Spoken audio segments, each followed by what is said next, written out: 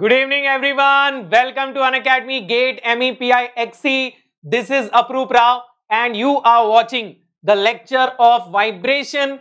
This is lecture number 18, and today we are going to discuss about the whirling of shafts. So, welcome everyone who is live right now. Good evening, Gaurav. Good evening, BK Paswan. Welcome, beta. Welcome, welcome.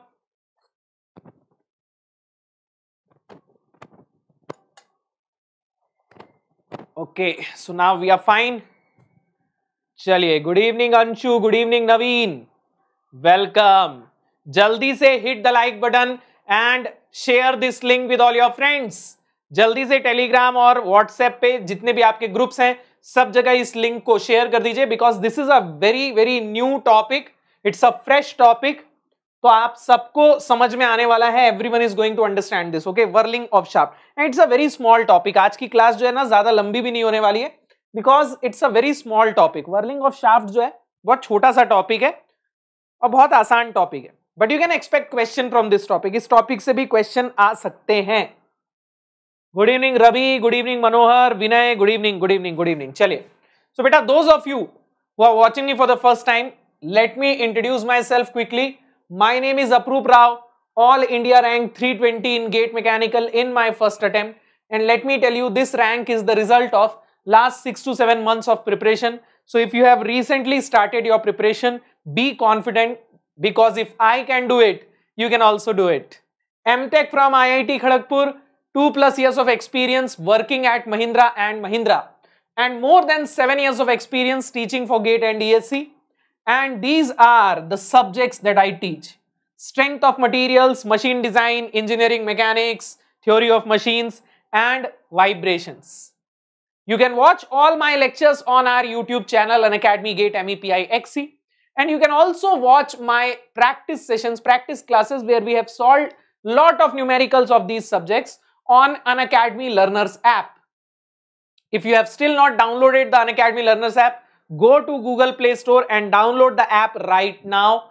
There are lots of free classes. There are lots of free quizzes, free test series on Unacademy Learner app. Now, once you download it, you will have to use this unlock code in order to unlock all the free classes. अगर आप Unacademy Learner app पहली बार install करेंगे तो आपको पहली class देखने के लिए अनलॉक करने के लिए ये कोड लगाना पड़ेगा अप्रूव टेन तो इस कोड को सब लोग याद कर लेना because this is going to be your one and only code which you are going to use everywhere जहाँ भी कोड लगाना होगा अनलॉक कोड रेफरल कोड हर जगह आपको क्या लगाना है? अप्रूव टेन ओके चलिए।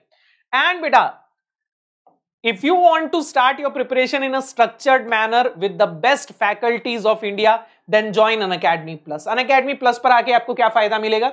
यहाँ सारे कोर्सेज जो है वो बहुत स्ट्रक्चर्ड है। यानी कि आपको एक पूरा बैच कोर्स मिलेगा where you will find all the subjects all the lectures you'll find the best faculty for every subject her subject की बेस्ट पॉसिबल फैकल्टी रहेगी. You'll find there lectures completely you will find there practice classes practice question P Y Qs everything you'll find in one place तो काफ़ी structured manner में आप अपनी preparation start कर सकते हो. And you will also be able to interact with the teacher in the live class means you can ask all your doubts यहाँ doubts solve करवाना बहुत आसान है. There are a lot of features which you can use to ask your doubts okay and इससे भी एक step आगे है Unacademy Iconic if you are one of those students who are not able to prepare their own schedule who are not able to follow their own schedule then you can join Unacademy Iconic where you will get a personal coach who is going to prepare all the schedules for you who is going to force you to follow those schedules who is going to give you all the study material you need who is going to analyse your test score so your preparation will be very smooth if you have a personal coach. So take the iconic subscription for that. But it doesn't matter whether you're taking plus or iconic subscription. Your one and only code has to be approved 10. If you use this code, you are going to get maximum possible discount and you will also get my personal guidance. Once you use this code, it means that you are under my personal guidance, my mentorship so throughout your preparation, I will be there guiding you, telling you, suggesting you. Okay, चलिए. So beta, let's start today's lecture. तो vibration का this is the last lecture. There will be still one more lecture where we are going to solve the PYQs. ठीक है एक और lecture होगा जिसमें हम लोग PYQs solve करेंगे बट थ्योरी में कॉन्सेप्ट में this will be the last lecture we have seen all types of vibration right free undamped vibration free damped vibration, forced undamped vibration, forced damped vibration. Yesterday we discussed about vibration isolation and today the last topic that we are going to discuss is the whirling of shafts. Now let me tell you that if you are from gate civil or gate XC, अगर आप gate civil से हैं या XC से हैं तो आपको कौन सा चैप्टर करना है बेटा? You only need to deal with chapter one chapter one means undamped free vibrations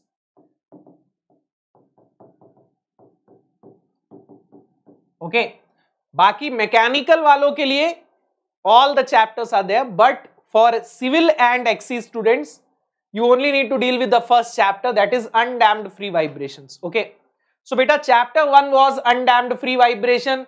Then we saw damped free vibrations. Then we saw forced vibration. Then yesterday we saw vibration isolation. And today we are going to cover whirling of shafts. After this, the lectures will end. There will be one more lecture, but that will be for PYQs.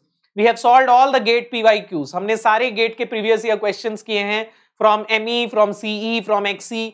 जिस भी exam में vibration के question आए हैं सब questions हम लोगों ने कवर किए हैं okay so I hope after this lecture series you will be able to solve all the questions of vibration please let me know in the comments of this video how did you like this lecture series whether it will be beneficial for you if you find something inappropriate if you find something missing or if you feel like there could be something better that i could do please let me know in the comments इस lecture के खत्म होने के बाद comments में मुझे ये ज़रूर बताइएगा कि ये लेक्चर सीरीज़ आपको कैसी लगी, आपके क्या फीडबैक्स हैं, क्या अच्छा लगा, क्या बुरा लगा, क्या कमी रह गई। तो इससे होगा ये that I will be able to improve myself क्योंकि इंप्रूवमेंट का स्कोप तो हमेशा रहता है right nobody is perfect you will always tend to the perfection but nobody is perfect okay तो आप लोग अपने फीडबैक के हिसाब से मुझे बताइएगा। कि मैं और क्या इंप्रूव कर सकता हूँ okay and I will definitely improve myself I will definitely improve my lab content okay चले तो बेटा सबसे पहले तो let's finish the syllabus of vibration so that we can talk freely okay पहले फिनिश कर लेते हैं अपना लेक्चर पहले अपना सिलेबस खत्म कर लेते हैं, उसके बाद आराम से बात करेंगे। What do you guys say good evening Gautam Roshan Jayesh Sam good evening good evening welcome Nitish, Yakub, Haider. Welcome Manohar. Good evening good evening. तो क्या बोलते हो? तैयार है सबके सब? For the last topic of vibration that is whirling of shaft and it's a very small topic ठीक है? बहुत ही छोटा सा टॉपिक है। इसमें कुछ बहुत ज़्यादा देखने, करने के लिए है नहीं ओके? चले so let's understand what do we mean by whirling of shafts let's say we have a shaft let's say this is the shaft it is kept between the bearings ये bearings में कुछ इस तरीके से fix है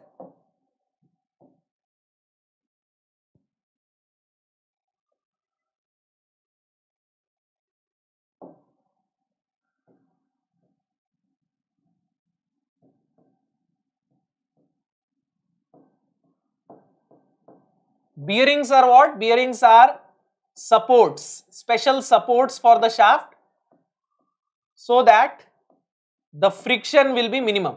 ठीक है bearings क्या होते हैं एक स्पेशल सपोर्ट सिस्टम होता है ताकि आपका जो फ्रिक्शन है वो मिनिमम हो okay now this will be the centre line of the shaft this is the center line of the shaft okay this is the axis of the shaft the center line of the shaft okay Now, let's say we have a rotor mounted on the shaft.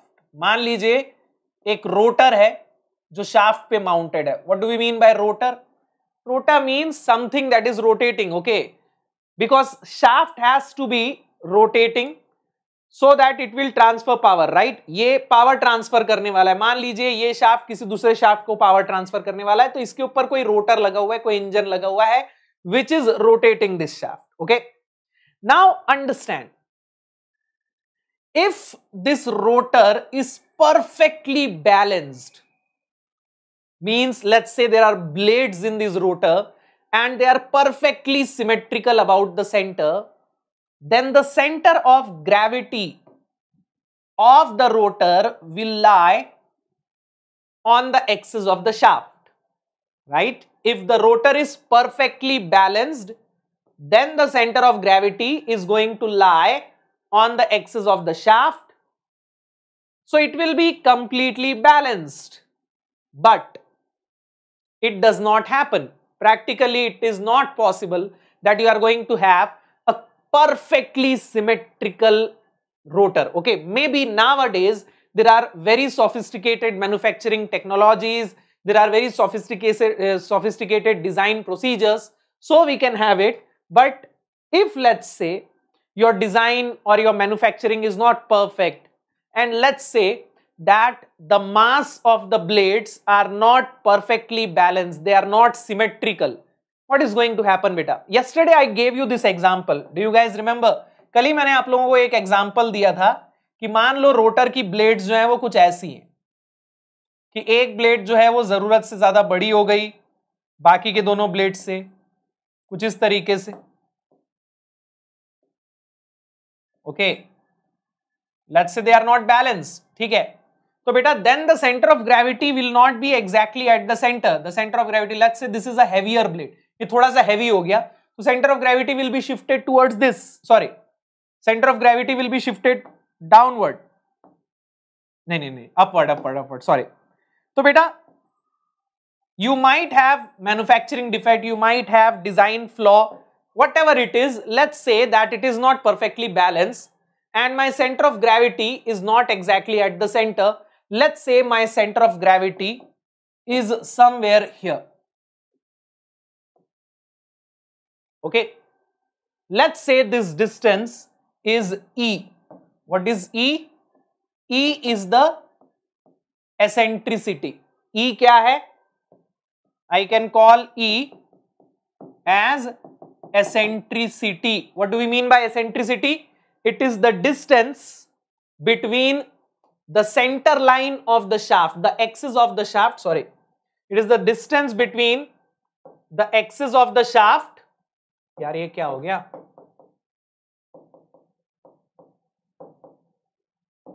It is the distance between the axis of the shaft and the centre of gravity of the rotor ठीक है? ये axis of the shaft और centre of gravity of rotor के बीच का distance है okay now let's say my shaft starts rotating अब मान लीजिए मेरा शाफ्ट जो है, वो रोटेट करना चालू हो रहा है okay let me draw it again ताकि कोई कंफ्यूजन ना रहे।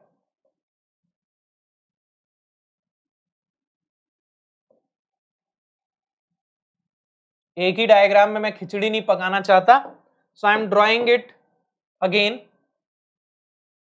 so let's say now my shaft starts rotating at an angular velocity omega अब मेरा शाफ्ट जो है वो रोटेट करना चालू कर रहा है। at an angular velocity omega.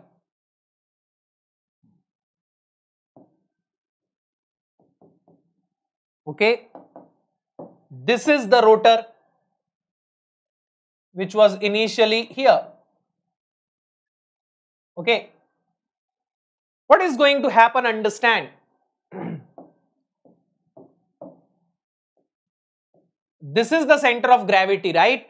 which is at a distance e this distance is e okay so when the shaft starts rotating then due to this eccentricity there will be a centrifugal force इस eccentricity की वजह से क्या आएगा एक centrifugal force आएगा that centrifugal force will be equal to what M E omega square That centrifugal force will be equal to what m e omega square m r omega square where r is equals to e centrifugal force क्या है m r omega square what is centrifugal force बेटा आपने वो वाला example तो पढ़ा होगा ना let's say you have tied a rope to a stone and now you are rotating the stone with the help of the rope okay in a circular path so the stone will experience an outward force right that outward force is what? Centrifugal force, mr omega square. Here my r is equals to E. So I am rotating the mass. मान लीजिए ये rotor जो है इसका मास एक point पे concentrated है okay let's say that the mass of the rotor is concentrated here at point G so what am I doing बेटा I am rotating this mass about this centre right इस centre के about में mass को rotate कर रहा हूँ, ठीक है? मान लो, ये रोटर नहीं है, एक पत्थर हो गया which is concentrated at this point G okay and this is the axis about which it is rotating so what is the radius of rotation ये रेडियस ऑफ़ पाथ क्या है? ई e है yes so it will experience a centrifugal force m e omega square outwards yes now understand बेटा due to this centrifugal force this centre line will now be distorted अब ये centre line क्या, अब ये shaft क्या होगा? This shaft will bend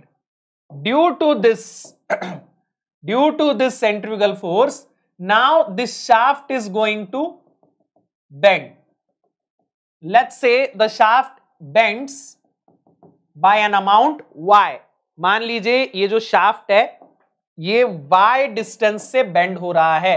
Let's say this shaft is bent by an amount y. मान लीजिए ये जो डिस्टेंस है this distance is y. Okay so now what is going to happen बेटा? If the shaft bends by a distance y then my center of gravity will further come down. है ना? मेरा जो अब सेंटर ऑफ़ ग्रेविटी है, वो और नीचे आ जाएगा।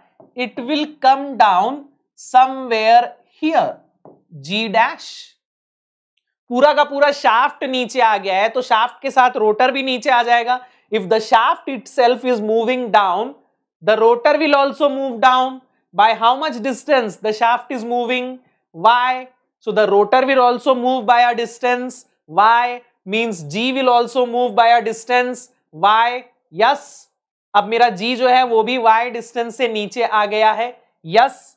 So now बेटा what will be my total distance between center line and this point centre line से लेके इस पॉइंट के बीच का टोटल डिस्टेंस अब क्या हो जाएगा बेटा सेंटर लाइन से यहाँ तक का डिस्टेंस कितना था? ई e था ना? तो total distance between centre line and this point will be y plus e yes y plus e so now बेटा what will be the total force अब टोटल फोर्स कितना हो जाएगा? Now my radius of rotation is going to become m into e plus y omega square yes अब जो मेरा centre of gravity है, वो यहाँ आ गया है।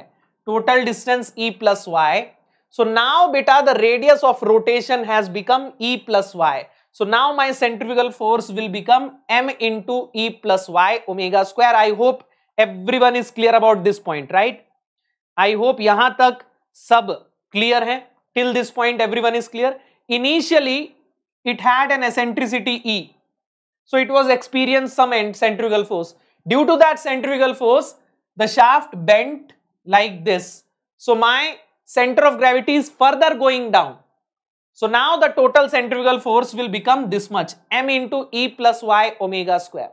Now, this shaft will try to oppose this force by applying an opposing force.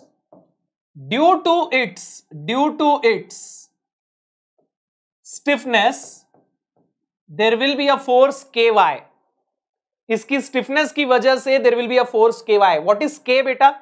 के क्या है?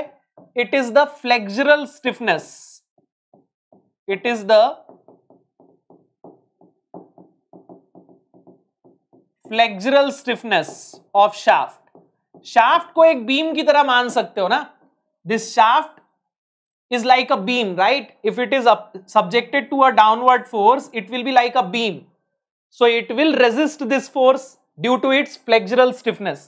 इसकी एक फ्लेक्चरल स्टिफनेस है जिसकी वजह से ये इस फोर्स को रेजिस्ट करेगा by an amount k y by an amount k y so बेटा now there are two forces acting on this shaft m into e plus y omega square and k y some of you might be thinking sir where is the weight m g so बेटा weight and the initial deflection they are cancelled ठीक है? देखो, इसका जो wait होगा, उसकी वजह से इनिशियल कोई एक स्टैटिक डिफ्लेक्शन आएगा ना।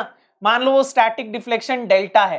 तो m g will be equal to k delta so they are already cancelled just like in vibration में यही तो करते हैं ना बेटा। Newton law whenever we apply m g and के delta they are already cancelled so we don't consider M G right So just like that, here also I am not considering mg. Okay, so if you are worried, where is the weight mg? Then beta weight mg is already gone. Okay, so now this is the centrifugal force m into e plus y omega square, and this is the resistive force. This is the force that is resisting the deformation.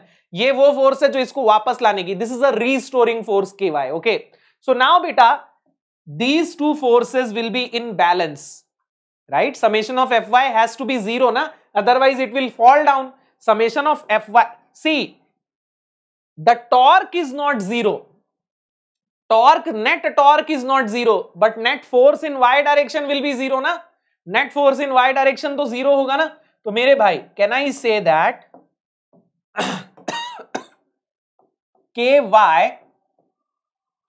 will be equals to m into e plus y omega square m into e plus y omega square. I can say this ky equals to m into e plus y omega square. Now,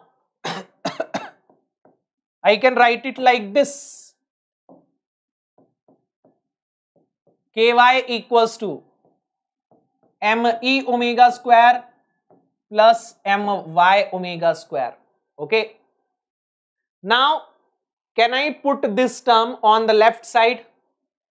It will become ky minus my omega square equals to me omega square. Okay. From here, I can write it like this y k minus m omega square equals to me omega square. So I can write it like this y equals to m e omega square upon k minus m omega square. Now can I divide the numerator and denominator by m omega square?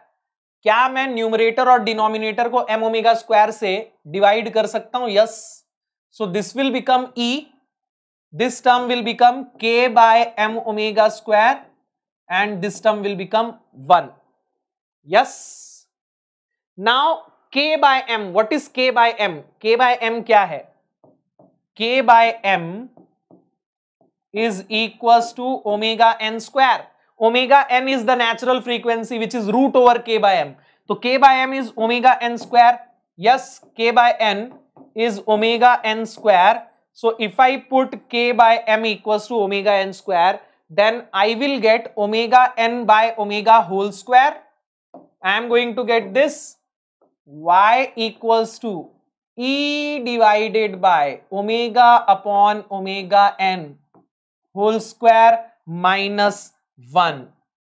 Now look at this equation. In this equation, what is this y? This is the vertical deflection of the center line of shaft due to the eccentricity eccentricity की वजह से shaft के centre line का जो vertical deflection है that is y right e is the eccentricity of the center of gravity from the center line rotor का और shaft का कंबाइंड सेंटर ऑफ़ ग्रेविटी जो है उसका शाफ्ट के सेंटर लाइन से डिस्टेंस क्या है? ई e है। Omega is the radius omega is the angular velocity of the shaft, omega n is the natural frequency of the shaft. So from this equation, can we understand how the y is going to change depending upon the value of omega shaft का जो speed है, वो हमारे हाथ में है। The speed of shaft is in our hand at what speed we are going to rotate the shaft that is in our hand so, we can increase or decrease the value of omega. See e is not in our hand. Rotor का जो mass है, वो कितना displace हो गया? वो हो गया। जितना होना था, वो हो गया। Let's say our system is manufactured so E is not in our hand. Omega N is also not in our hand our system is already manufactured मेरा शाफ्ट ऑलरेडी बन गया है।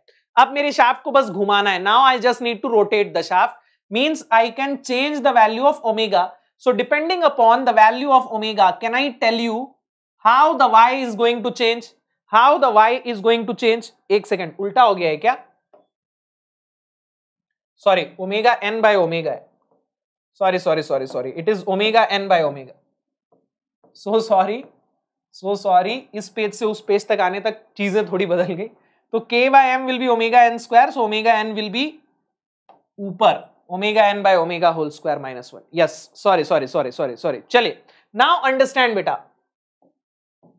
In this equation let's say e and omega n are fixed, so i can only change the value of omega So how depending upon omega y is going to change that we are going to see okay. So the first point if if omega is less than omega n y is going to be positive right if omega is less than omega n y is going to be positive, right? This thing is going to be greater than 1. If omega is less than omega n, means this thing is going to be greater than 1. So, y will be positive. But,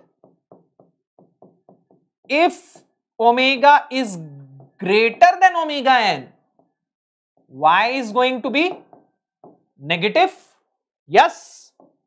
अगर ये value omega omega n से बड़ा है then this ratio is going to be less than 1 less than 1 so beta this thing is going to become negative यानी y will become negative and y becomes negative means what y का negative हो जाने का मतलब क्या है if y becomes negative it means g starts G moves.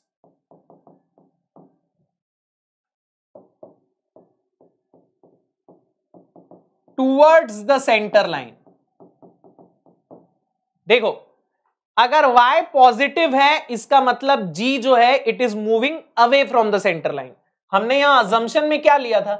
In our assumption we assumed that g is moving away from centre line right that is why I have written e plus y मैंने अपने अजंशन में यह माना कि जी point जो है वो centre line से दूर जा रहा है।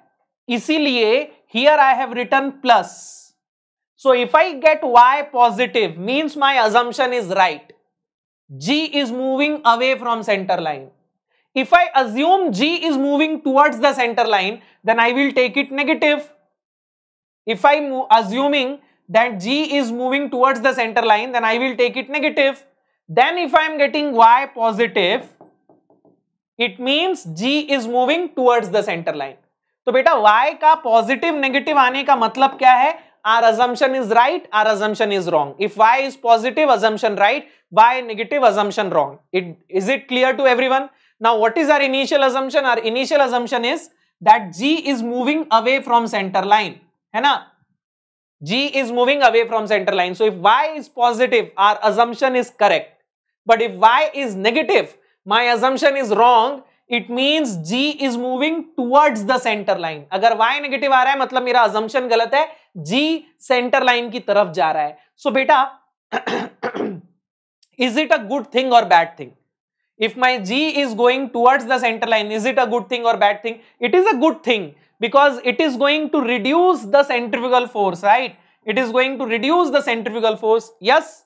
So beta, my G should move towards the center line. That is why in heavy machines, in order to understand, eh, sorry, in order to avoid, in order to avoid this deflection, we always keep omega greater than omega n.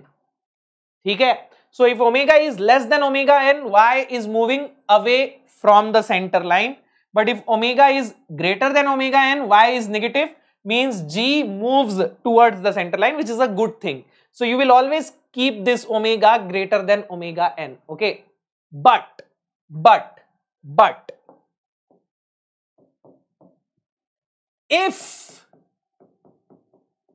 omega is equal to omega N अगर omega omega n के बराबर हो जाता है then what is going to happen if omega becomes equal to omega n then this thing will become one so y will become infinity yes y will become infinity so this concept this concept is known as whirling इसी concept को हम क्या बोलते हैं?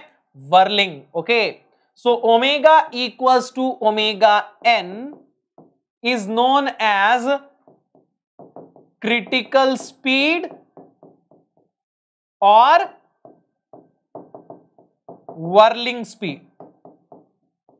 So beta understand if omega becomes equal to omega n y becomes infinity. Now beta practically it does not become infinity but it becomes very large and if it becomes very large what is going to happen if it becomes very large then my shaft is going to violently vibrate right मेरा shaft जो है वो बहुत ही violently vibrate करने लगेगा है ना so बेटा this phenomena is known as whirling of shaft this phenomena is known as whirling of shaft in other words you can call this phenomena as resonance इसको आप resonance भी बोल सकते हैं yes we have understood this phenomena in case of forced vibration also there we were calling it resonance है ना when we were considering a spring mass system we were calling it a resonance now in case of shafts we are calling it whirling same thing ठीक है whirling of shaft या critical speed of shaft whirling speed of shaft or critical speed of shaft what is this beta if omega becomes omega n y becomes equals to infinity this is whirling or resonance आप इसको resonance भी बोल सकते हैं you can call it resonance it is the same concept but in case of spring mass we were calling it resonance here in case of shafts we are calling it whirling that is the only difference okay so when will you get whirling or resonance in case of shafts when omega of the shaft becomes equals to the natural frequency ठीक है becomes equals to the natural frequency then my shaft will start vibrating violently मेरा shaft जो है वो बहुत ज़्यादा ऊपर नीचे ऊपर नीचे होने लगेगा and this thing I don't want मैं नहीं चाहूँगा कि ऐसी चीज़ हो so my omega should not be equal to omega n मेरा omega कभी omega n से ज़्यादा नहीं होना चाहिए should be either less than omega n or greater than omega n if you keep it greater than omega n then your uh, shaft will start becoming straight because your E will start move sorry your G will start moving towards the center line ठीक है so I hope this concept is clear to everyone I hope आप लोगों को ये concept clear हो गया होगा right this is the whirling of shaft now beta you might get theory questions from this concept इसके ऊपर आपको theory question भी आ सकता है what is whirling of shaft at what speed the uh, there is whirling of shaft or critical speed of shaft is what and you might also get numericals numericals kis type ke aayenge beta they will give you different values and they will ask you to find the critical speed of shaft. Okay. So beta, you don't need to do anything. Critical speed of shaft means you need to find omega n. When omega becomes omega n, then we get critical speed, right? Means you have to find omega n only. Omega n is the critical speed. Okay, natural speed is the natural frequency is the critical speed of shaft. Okay. So omega n will be equals to what? Root over k m by k by m or k equivalent by m equivalent. Okay. If there is only one single shaft, we are talking about k equivalent k by m. But let's say there are multiple shafts connected series parallel this kind of arrangement is there then you can call it k equivalent by m equivalent right so beta how do we find this natural frequency just find k and root over k by m how do you find k k is what k is the flexural stiffness of the shaft so do you remember how to find the flexural stiffness flexural stiffness kaise nikalte the yaad hai i told you right in case of beams beams के case में हम लोग क्या करते थे मेरे भाई in case of beams if you want to find the value of k it is nothing but what k की वैल्यू निकालने के लिए क्या करते थे बेटा force divided by this delta delta is the static deflection right so force divided by delta will give you the stiffness that's it yes so shall we solve a numerical based on whirling of shaft to understand what type of question you are going to get. To understand what type of question you are going to get. Yes, everyone is ready. चलिए तो एक numerical करके देखते हैं किस type का question आने वाला है okay okay?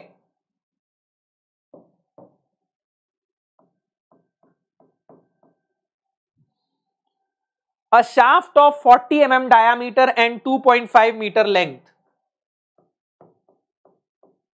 A shaft of 40 mm diameter and 2.5 meter length has a mass of 15 meter has a mass of 15 kg has a mass of sorry sorry sorry sorry.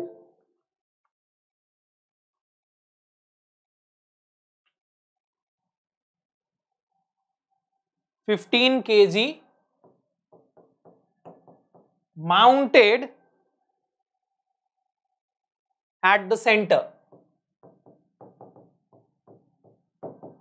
Mounted at the center. Okay. The bearings are 1 meter apart sorry the bearings are at the ends sorry, sorry, the bearings are at the ends. E is equals to 200 gigapascal.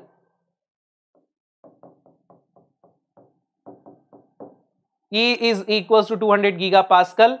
If the center of mass of rotor is 0.11 mm away from the geometric axis,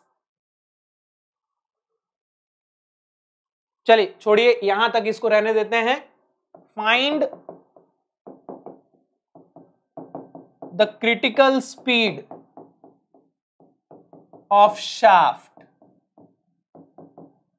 in RPM find the critical speed of shaft in RPM you need to find the critical speed in RPM okay Very good, Monu Sharma. Congratulations. Congratulations. I'm really happy for you, beta. Congratulations for your admission in NIT Trichy. Congratulations. Chale. So beta, let's solve this problem. So we need to find critical speed of shaft. We have a shaft of 40 mm diameter, 2.5 meter length. Okay. Mass of 15 kg is mounted at the center. Okay. Let's ignore the weight of the shaft. If the weight of shaft is not mentioned, let's ignore the weight of the shaft. Okay. So beta, this is the question. This is the question. We have something like this.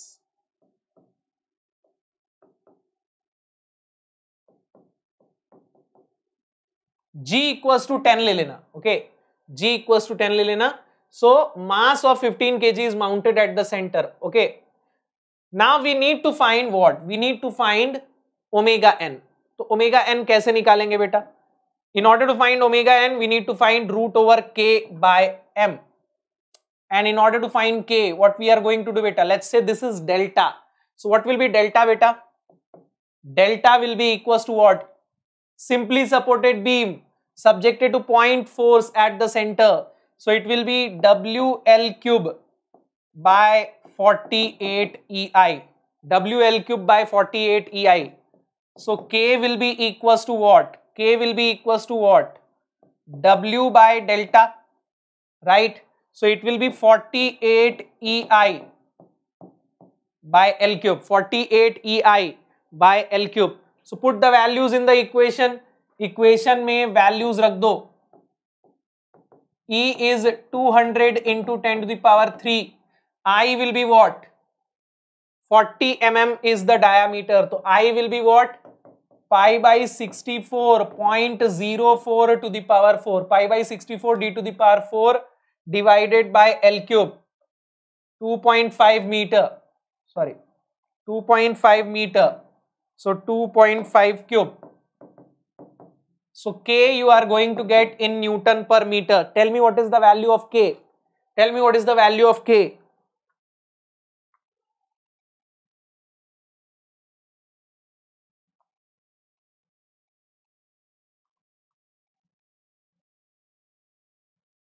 point zero seven seven two newton per metre are you getting this k point zero seven seven two newton per metre point zero seven seven two newton per metre आ रहा है क्या? Are you getting point zero seven seven two newton per metre yes so now बेटा omega n will be equal to what root over k by m So 0.0772 divided by mass. Point अच्छा sorry sorry sorry sorry I have made a mistake एक गड़बड़ कर दी है मैंने। In S I unit this will be ten to the power nine मैंने इसको S I unit में कन्वर्ट नहीं किया था। If I converted in S I unit ten to the power nine होगा। So it will be seven seven two zero seven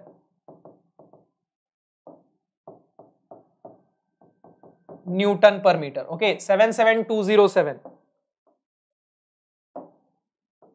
seven seven two zero seven divided by mass is fifteen k g so omega n will be equal to seven seven two zero seven divided by fifteen five one four seven radian per second fifteen k g mass है ना? हाँ. Five one four seven radian per second Now I have to convert it in RPM. So omega equals to 2 pi n by 60, right? So n will be 60 omega by 2 pi. तो यहां पे रख दो बेटा 60 into 5417 divided by 2 pi. So tell me what is the value of n?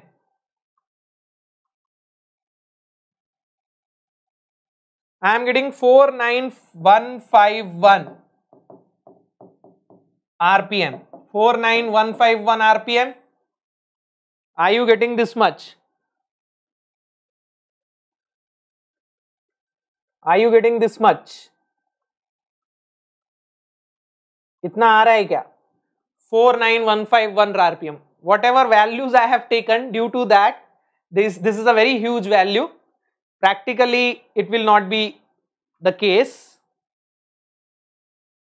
Yes, omega n 5147 radian per second, but we have to convert it in rpm तो इस तरीके से आरपीएम में इसको कन्वर्ट कर लेंगे। Omega equals to two pi n by sixty so n will be sixty omega by two pi okay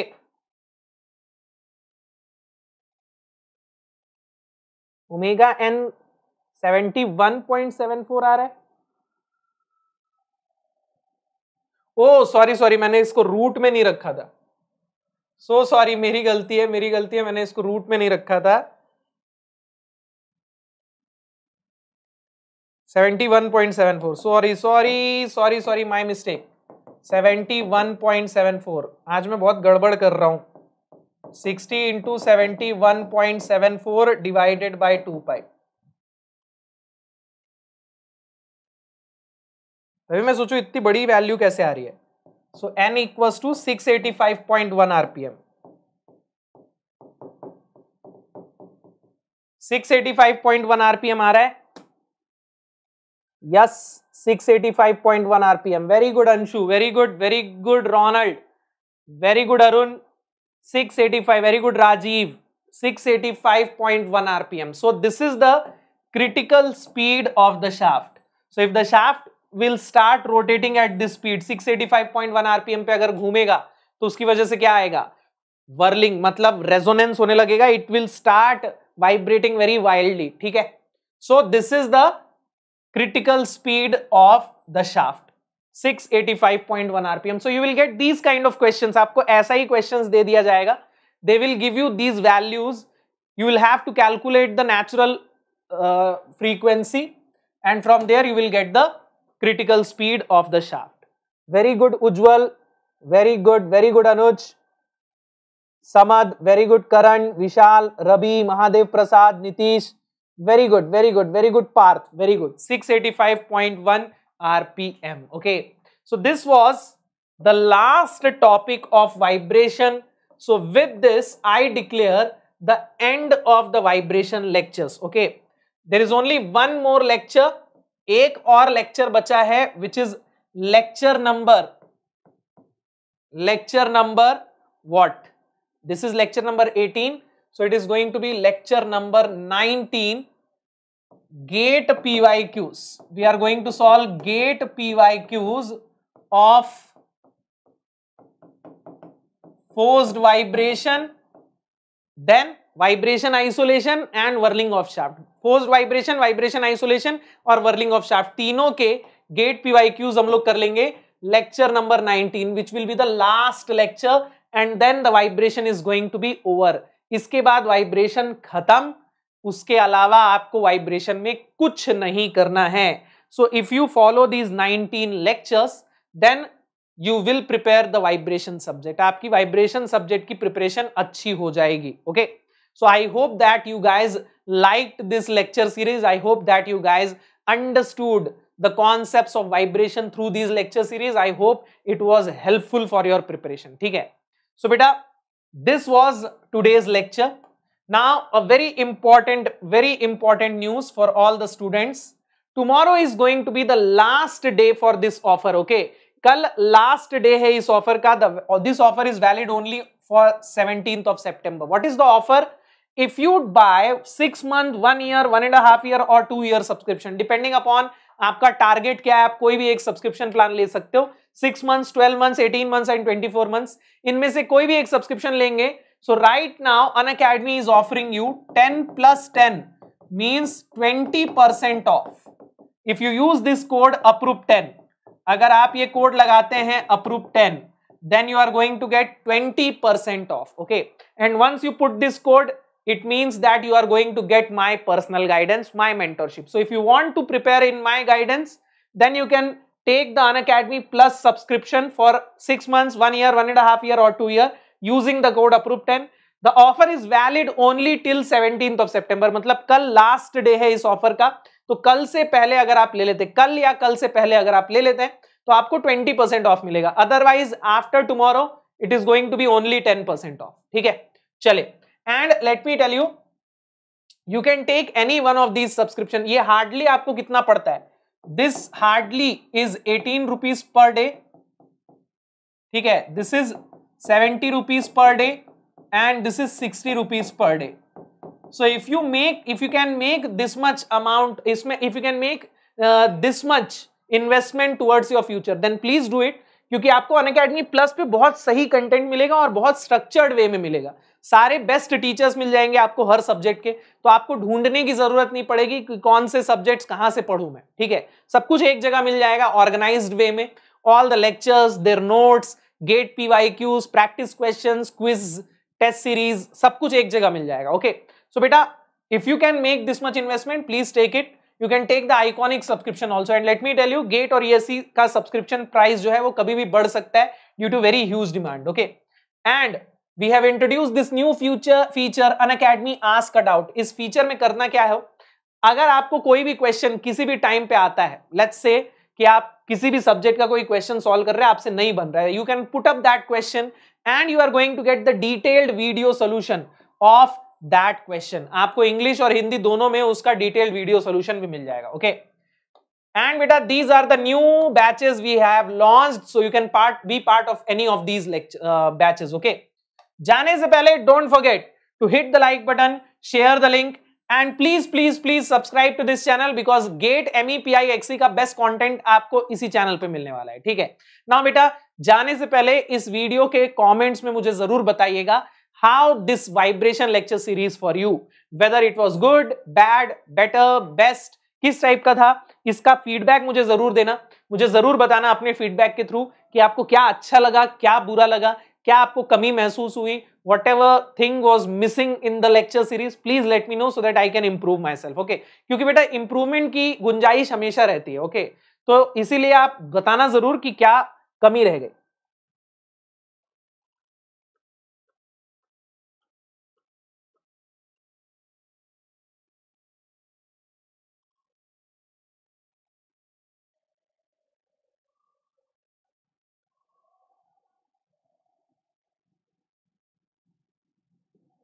मेरे भाई वर्लिंग ऑफ़ शाफ्ट इतना कोई बहुत खतरनाक टॉपिक है नहीं कि उसमें इस तरीके के एकदम अजीब अजीब से क्वेश्चन आए ओके आपको बहुत ही सिंपल टाइप के क्वेश्चन आएँगे मतलब शाफ्ट में बियरिंग जो है एंड पे ही रहेगी लोड जो है इधर उधर लगा दिया जाएगा तो आपको फॉर्मूला पता है right if the load is not acting at the centre if the load is eccentric then how to apply the formula that you already know okay तो उस टाइप के क्वेश्चन ही आते हैं, बड़े बड़े बेसिक क्वेश्चन आते हैं, ठीक है?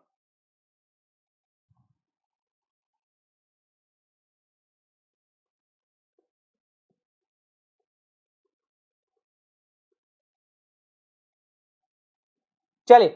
सो बेटा this was today's lecture I will see you guys in the last lecture of the vibration where we are going to solve the GATE P Y Qs of force vibration vibration isolation as well as the whirling of shaft ठीक है ये जितने भी बचे हुए topics है ना इनके सबके हम लोग गेट पी वाई क्यूज कर लेंगे okay thank you so much Gaurav thank you so much thank you so much thank you so much thank you so much, you so much.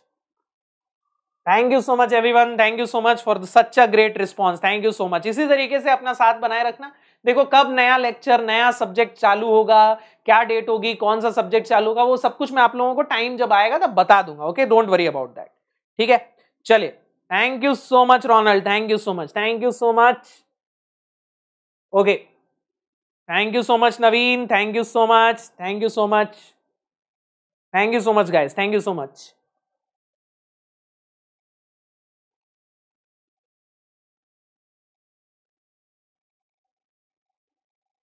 Thank you, thank you, thank you everyone. So I will see you guys with, with the new lecture. Till then, bye bye. Take care. Good night.